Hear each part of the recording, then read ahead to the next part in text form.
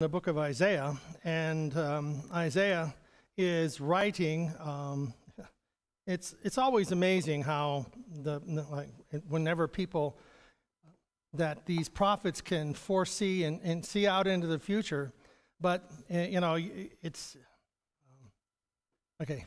To God, it's all knowledge. God doesn't see into the future. He doesn't remember the past. It's all knowledge. So the, the prophets, you know, like John in the book of Revelation or Isaiah here, does he, does he actually you know, go forward in the, and God has a, a screen that he shows them the picture, this is what it's going to be like, or does he receive the impression from God that this is what's going to happen, and uh, that, you know, these are the promises, and they hear something or see that which is entirely different than what you would imagine. You can't imagine that um, there's going to be a coming Messiah and then the invitation to accept or reject him. That's what the scripture is here. And then the new Jerusalem, the new, you know, the thousand year millennial reign of Christ and uh, the new Jerusalem and all that. And, and, and Isaiah sees this and he talks about it and he writes about it. And we see it in the book of Revelation, and it's the same, the same message that John gives is, is, sim, is the same, same message that Isaiah gives. And it's like they're looking at the same picture. they're receiving the same revelation. And so when we start to put this together, we find that God is at work in each of these situations, whether it's in Isaiah's time period or whether it's in uh, John uh, in the book of Revelation on the Isle of Patmos, whether it's in that time period or whether it's in our time period. God is at work in all of these things, and He's giving us an understanding, which we studied in um, Ephesians that God gives us the revelation of His will uh, with all wisdom and understanding. So uh, we, we, we get to look at this and see the, the hand of God in, in, in many ways. So as we look at here in uh, chapter 61, today's lesson, Isaiah presents the Messiah in a variety of roles. So we see in 61, 62, and 65, we have those are the three chapters that we look at. Uh, first, he is seen as the Redeemer uh, through his finished work of redemption, through salvation, through the work of the cross.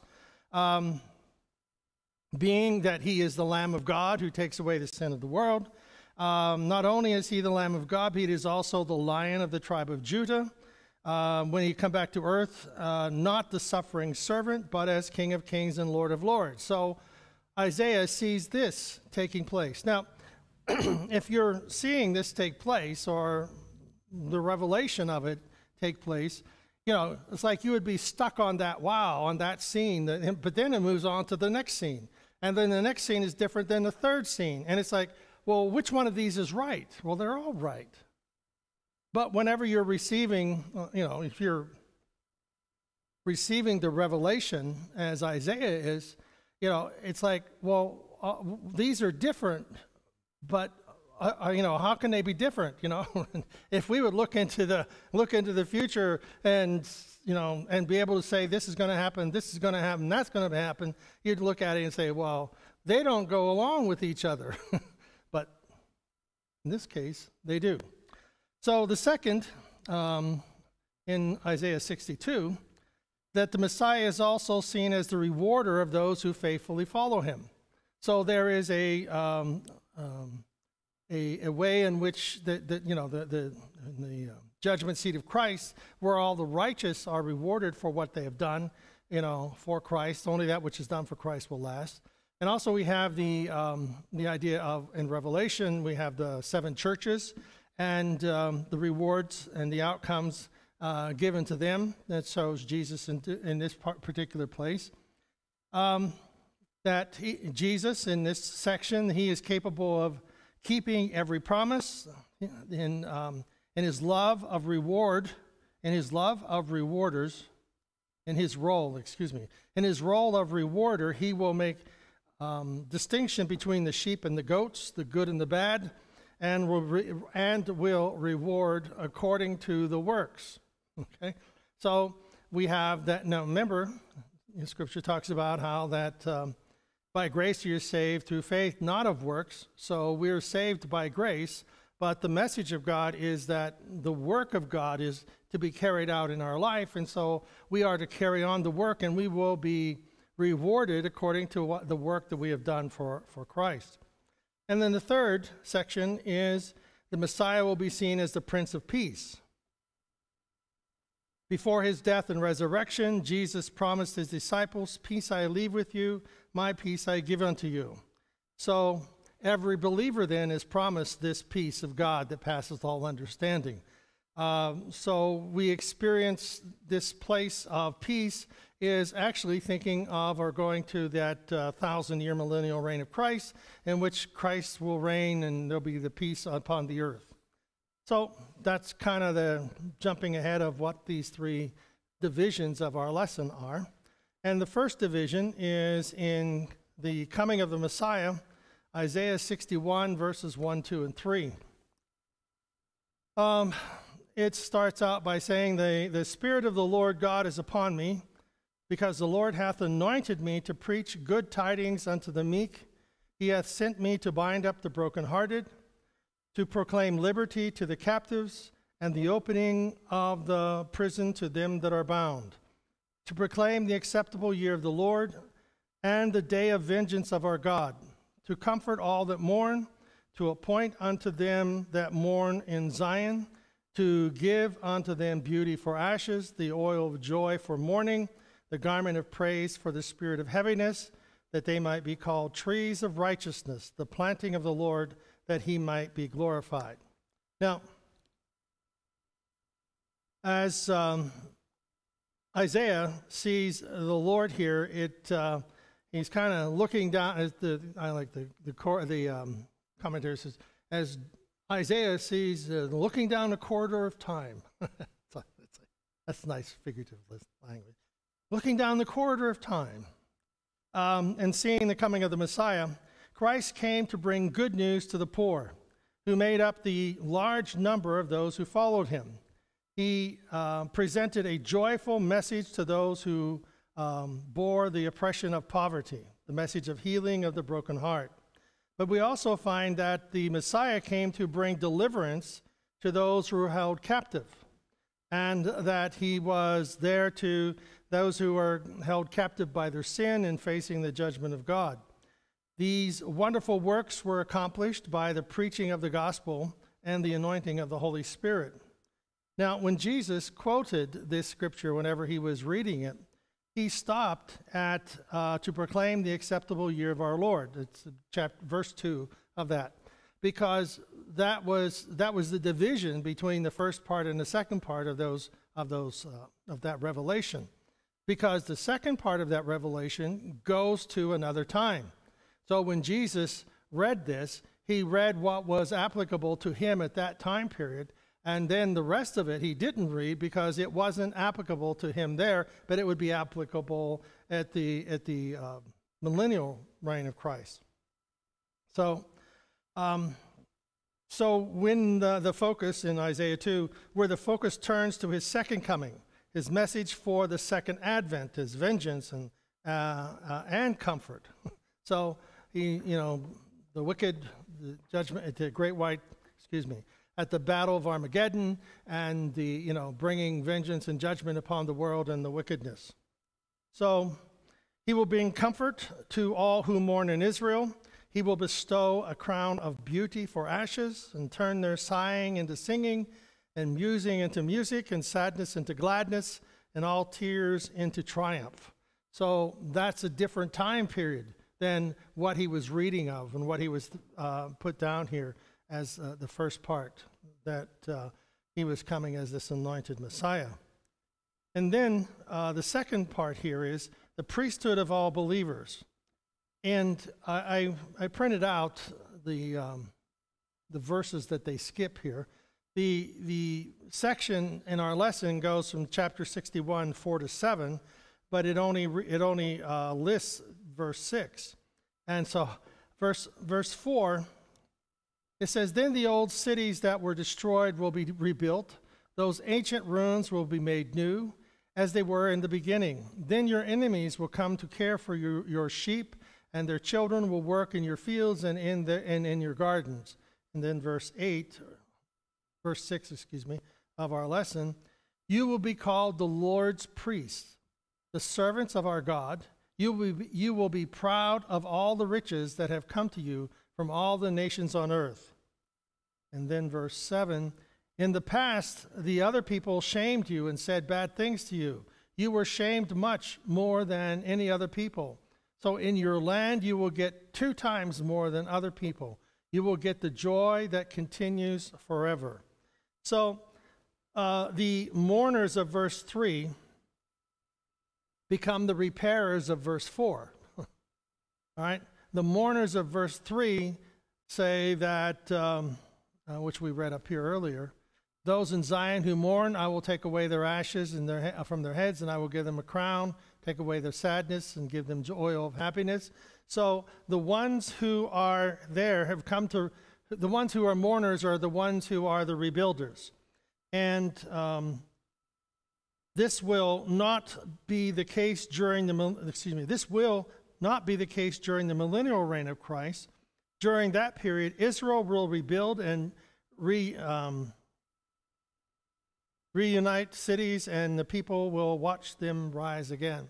So it's talking about, okay, Isaiah sees a couple of things going on here that um, the the priesthood of believers, and ye shall be named priests of the Lord. That's verse 6. And uh, you are the Lord's priests. So, whenever Israel in this time period, so he's seeing, Isaiah is seeing beyond um, what we would know, what we say is the um, tribulation period. He's seeing into the millennial reign of Christ. And Jerusalem, Israel, will be rebuilt. And that during that time of Israel being rebuilt, nations will come to support Israel while they rebuild their, rebuild their system, rebuild their country. And that people will, you know, watch your flocks. People will take, be, uh, be uh, watching over uh, watching over you and be assisting you rather than being destructive to you. so uh, it's not like uh, today. Some people blame uh, Israel and the Jews, Jewish people, for all the problems in the world. You know, it's still going on. It's it's it's amazing. You know. Oh well, anyhow. You have any questions? So, what we see here is Isaiah looking down the corridors of time, in these chapters, he is not only talking about the coming of the Messiah, you know, Isaiah also writes that a virgin shall conceive, you know. So, you know, I like to do that point in history. Isaiah sees where Jesus is coming, you know, he'll be born, and, um, you know, he'll be a suffering servant. Um, but then in this chapter, verses, the verses that we previously read, some of what Isaiah sees goes to that pinpoint or that point, and then some of what he sees is still out in our future, which is the after the tribulation period and is the, is the rebuilding of Jerusalem during the millennial reign of Christ. So that's out there. That's another pinpoint. So one's in our past, 2,000 years ago, Bethlehem, and somewhere out in our future is also what Isaiah is writing about. So if we challenge and say, well, that's really not true, Isaiah is just, you know, figuratively speaking, well, then what do we do with his figuratively speaking about Jesus and, and his birth? And uh, a virgin shall conceive, and you're going to call his name Emmanuel, God with us. And what do you do with all of that? So, got an answer for it? So, all right.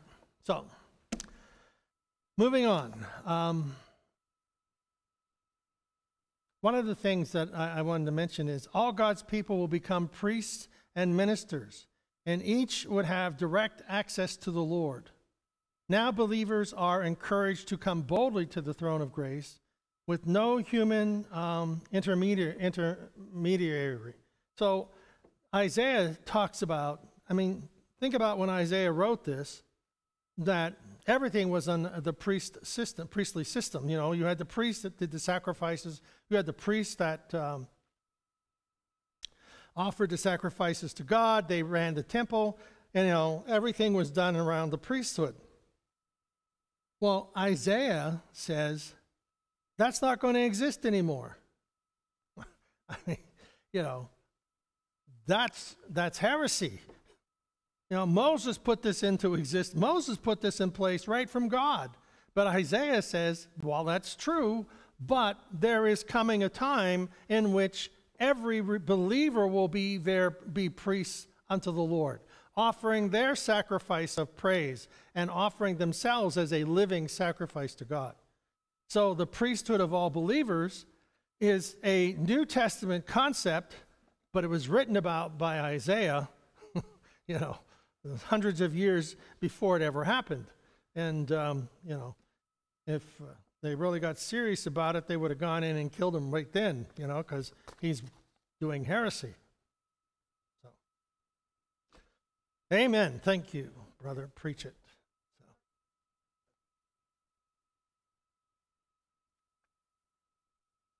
Yeah.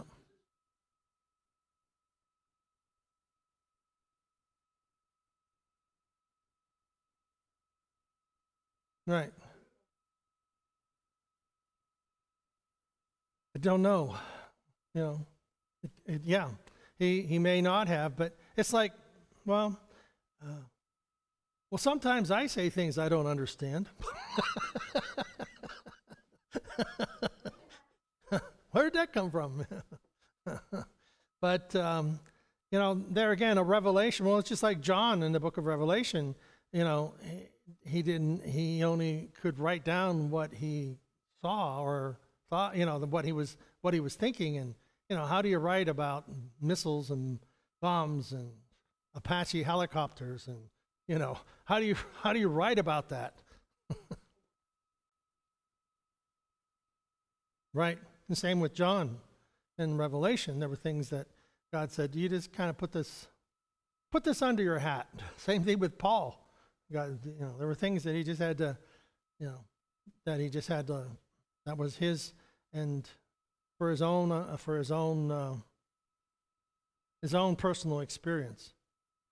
And then in chapter 61 verses 8 and 9, and this is the everlasting covenant, and of course that's not written out. So uh, the everlasting covenant. That's because I am the Lord and I love justice. I hate stealing and everything that is wrong. So I will give the people what they deserve.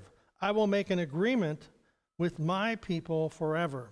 So, what he's doing here is that he, his children living right and doing the right in this world, that Jesus admonishes them to, um, that they are to do the right thing and keep doing the right thing. And we have in the New Testament, uh, seek ye first the kingdom of God and his righteousness, and all these things shall be added unto you. So, we are looking at how that God is putting together um, that his reward is for those who do the right thing. Uh, the Lord says that he will enter into an everlasting covenant with us. an everlasting covenant. So God is entering into an everlasting agreement that is initiated by him, has his seal of the Holy Spirit uh, on it, and that we are his forever.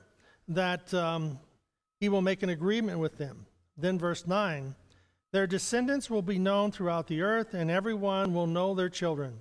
Whoever sees them will know that the Lord has blessed them. So, um,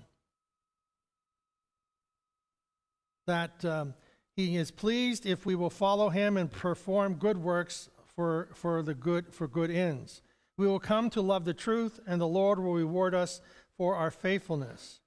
If obeying him causes us to suffer at the hands of evil, he will bring us to joy and fulfillment. Uh, Paul said, I reckon that the sufferings of this present time are not worthy to be compared with the glory that shall be revealed in us. Then, verse 9, um, the text says, The followers of Christ will be recognized in such, in, in, as such among the nations in the midst of the peoples. So, the people in the, again, in the in the millennial kingdom, those who are doing right will be recognized for their efforts. you know, it's a lot different in our, you know today. It's you know whoever gets ahead by whatever means they want. You know, but uh, God is saying that He will recognize those, and people will be recognized for the good that they have done. So then there is the invitation in the second part of Isaiah 62, which is the invitation accepted or rejected. So, invitation for Christ. Uh, verse 10, 11, and 12.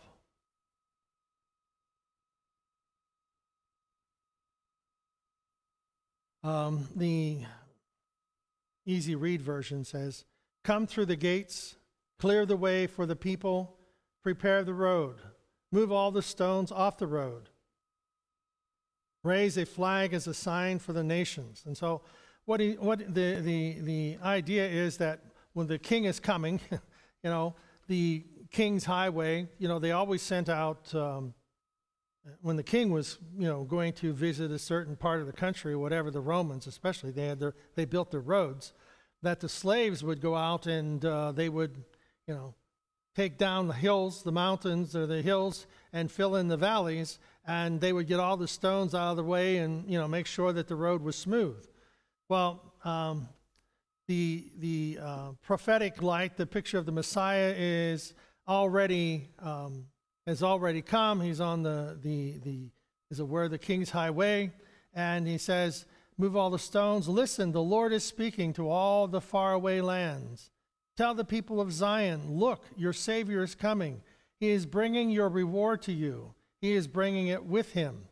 In verse 12, His people will be called the holy people, the saved people of the Lord. And you, Jerusalem, will be called the city God wants, the city God is with. So, um, so when the Messiah arrives, um, his, his message is uh, Isaiah sees it as something that's going out to all of the earth. You know, it's, it's a message that is broadcast that the, the Messiah has come. He's, he's entered the city. Jerusalem is the joy of God, and the, the nation of Israel is the, the, the people of God.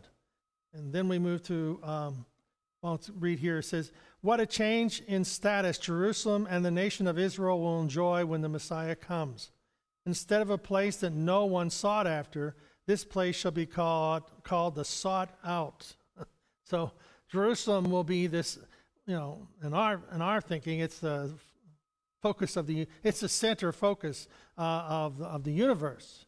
You know, if, this was something was said years ago. I don't never I haven't heard it said a, a lot anymore. But in the center of Jerusalem is the United States because it says J E R U S A. L E M. So in the center of Jerusalem is the United States.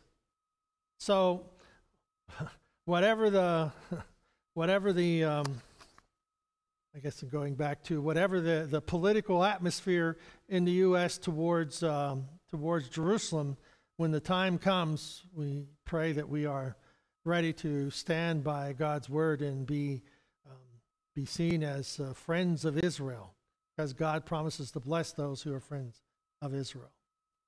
Um, in Isaiah chapter 65, the obstinate people, we don't have any of those in our society. There's no obstinate people.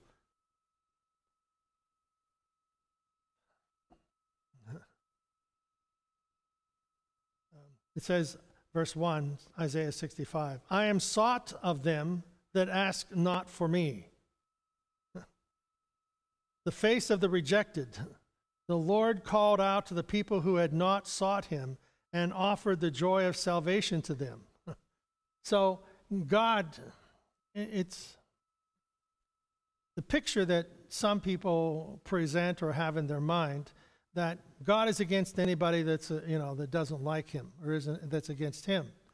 Well, it's not really true. God is for everyone.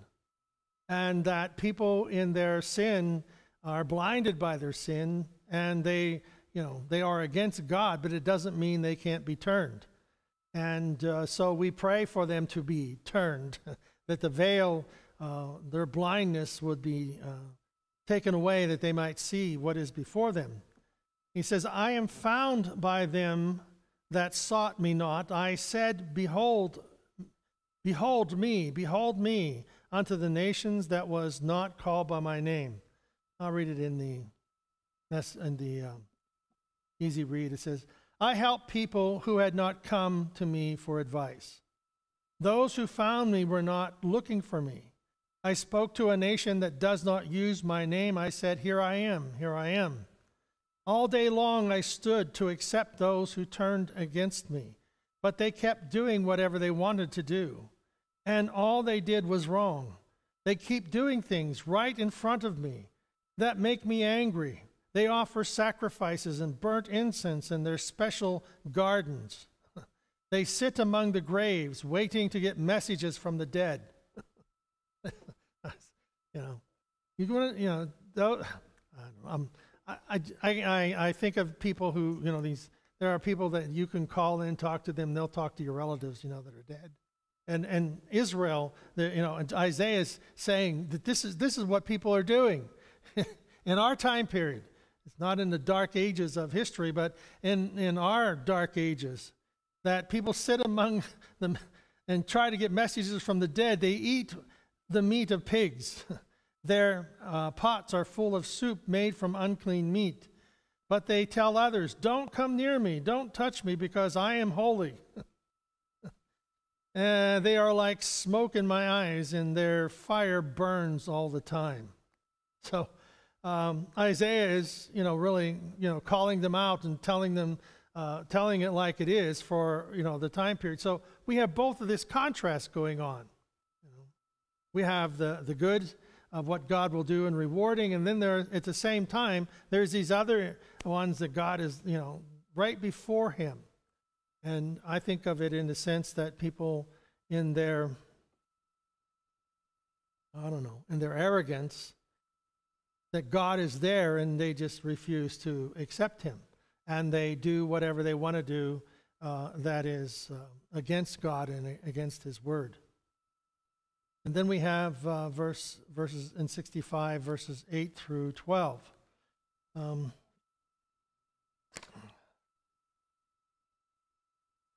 the, what's listed here is verse 11 and uh, 12, I believe. So it says in verse um, verse 8, Isaiah 65, 8. I want to make sure I have the right verse. 2, 5. I guess I start with 6. Look, here is a letter that lists all your sins. I will not be quiet until I pray, pay you back for these sins. I will do it by punishing you. Verse 7 I, the Lord, am doing this because your sins and the sins of your ancestors. They did these sins when they burned incense in the mountains. They shamed me on those hills, and I punished them first.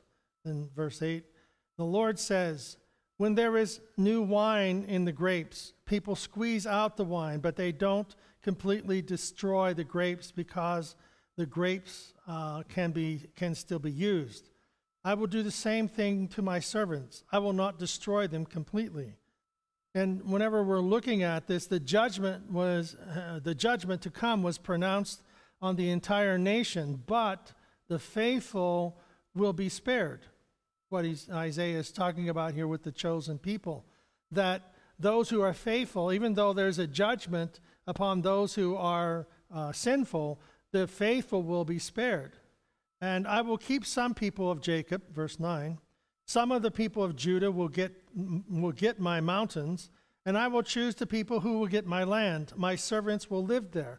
So he's declaring that the, the, uh, the righteous, those who have done the things that God wants, they will be spared in the judgment against the wicked, and that those who have done the right thing will be the ones who get to get the reward that God has to offer meaning the mountains and the land that he will give it to them. Then verse 10 is Then Sharon Valley will be a field for sheep. The valley of Achor will be a place for cattle to rest. All this will be for my people, for the people who come to me for help. And then verse 11 But ye, but ye are, I'll read the other version, but you, people but you people left the Lord, so you will be punished. You forgot about my holy mountain. You begged to worship luck. you held feast for the false god fate. that that was pretty a different way of stating that verse. That you um, you you you worship. You began to worship luck.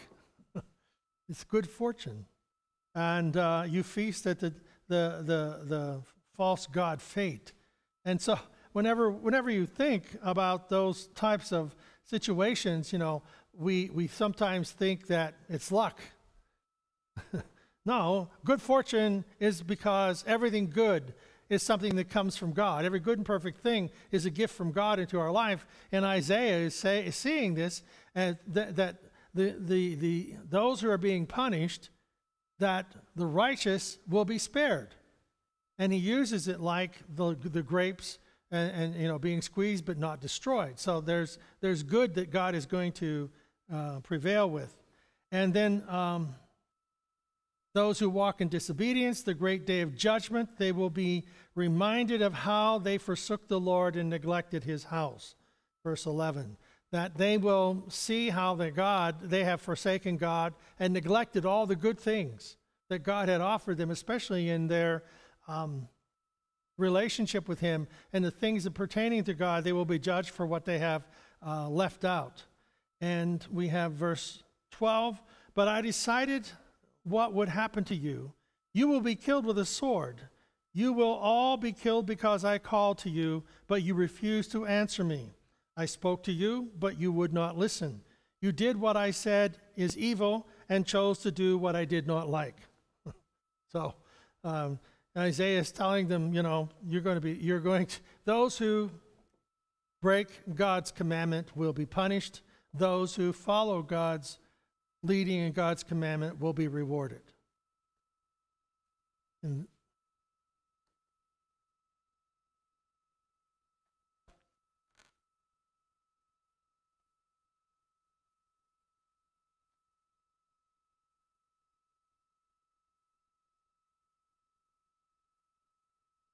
Mm-hmm.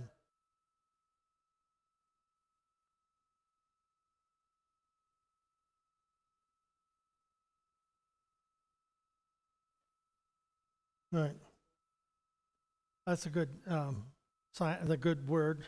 Simultaneously. Simultaneously, as he is bringing out judgment, he is bringing out rewards.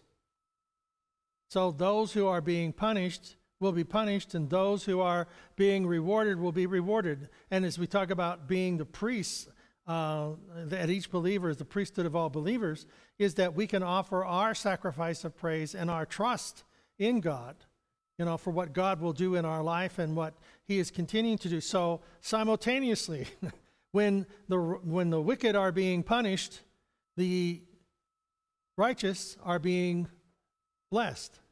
And if you go back to uh, in Egypt, whenever the plagues, the plagues were upon Egypt, but they never crossed the barrier to the children of Israel. You know, you know, how, how do you have, you know, it's like, how can this happen? You got the swarms of bugs and locusts and everything, and they're on one side of the line, and on the other, there isn't any. You know, the line of demarcation, it just isn't there. The, the well, just like the uh, death of the firstborn, the blood of the lamb that the, the angel went through, and whoever didn't have the blood of the lamb on the doorpost of their homes, uh, they were killed. But those who did, firstborn child was killed. And then uh, to those who had the blood, passed over. So simultaneously. Good, good word, dear.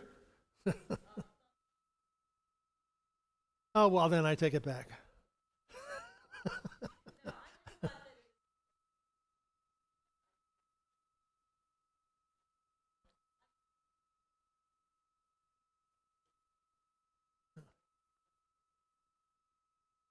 Yeah.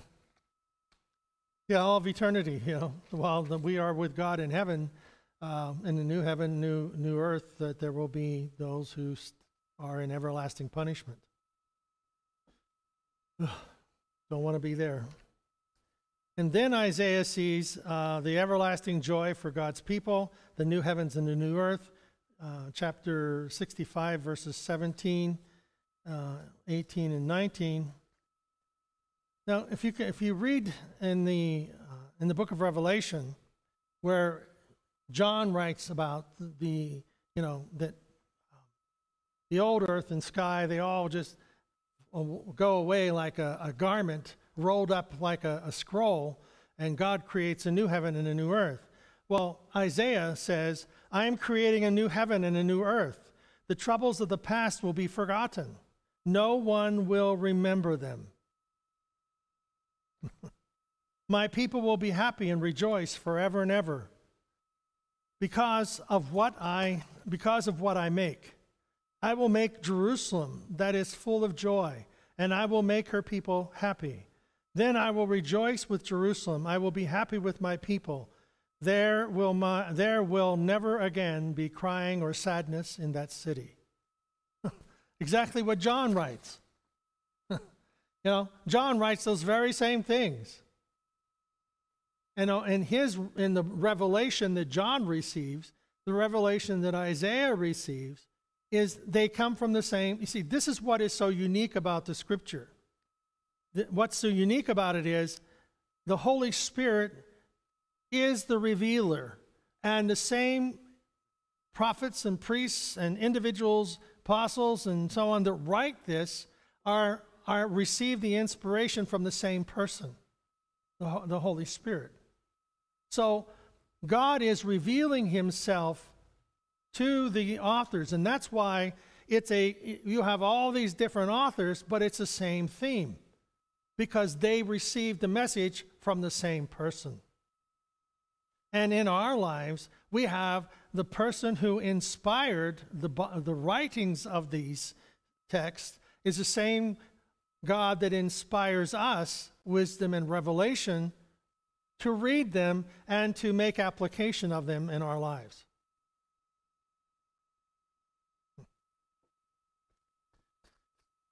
I hear the amens echoing through the TVs. um, obst- obstinate people.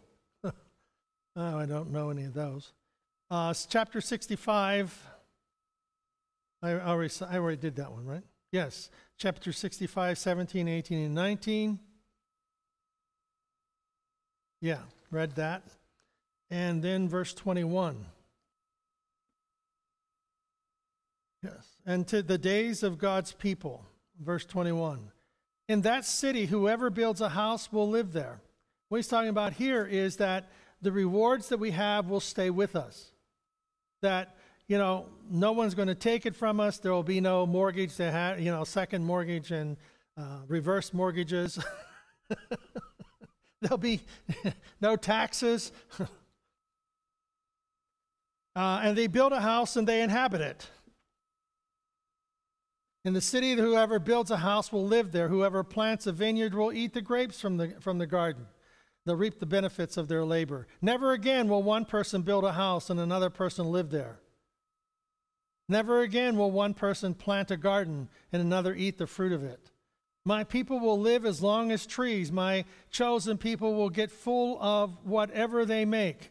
So he's talking about the, the lifespan in the, in the New Jerusalem. You know, somewhere it says uh, if you, live to be a 100, you know, being a 100 will be, you know, if you die at a 100, you think you're cursed because, you, because the long life uh, you know, in the Old Testament, going back to Methuselah and all those guys. So living a long time will be uh, the uh, norm rather than the exception. And then verses uh, 23 Never again will a woman suffer childbirth and have her baby die. Women will not fear childbirth.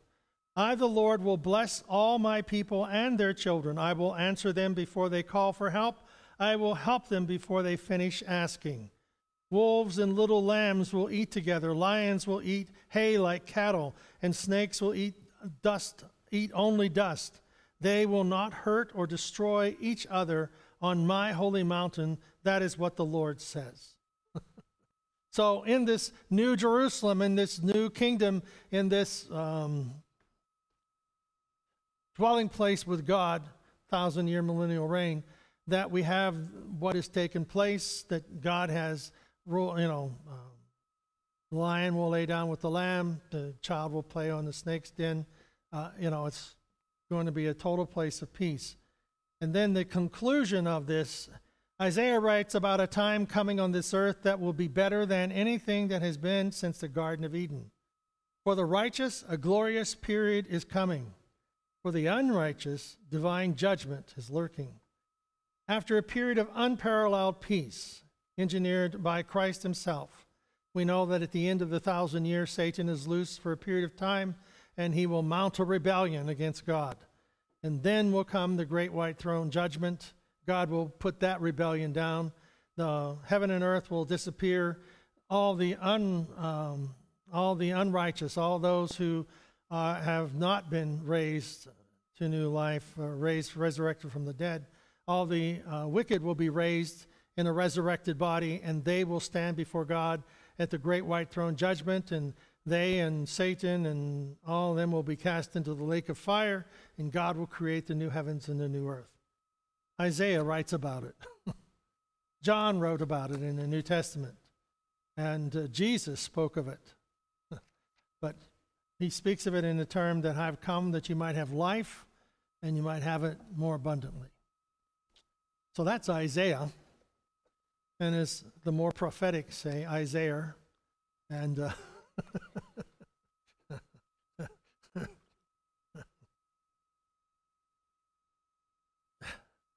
next week we're in uh, Mark.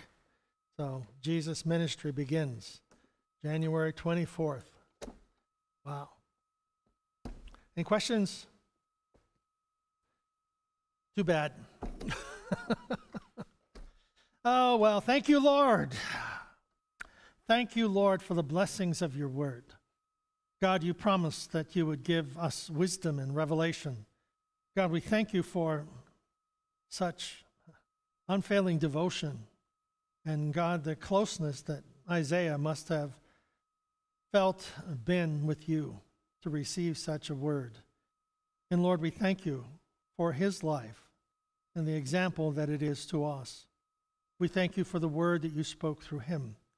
We pray that it will be light to our path and, Lord, strength to our lives as we serve you, that even in the midst of turmoil, God, you preserve the righteous. So we are grateful for that and ask you to guide us, guide our nation, guide us as individual and as the body of Christ, we pray. In Jesus' name, amen.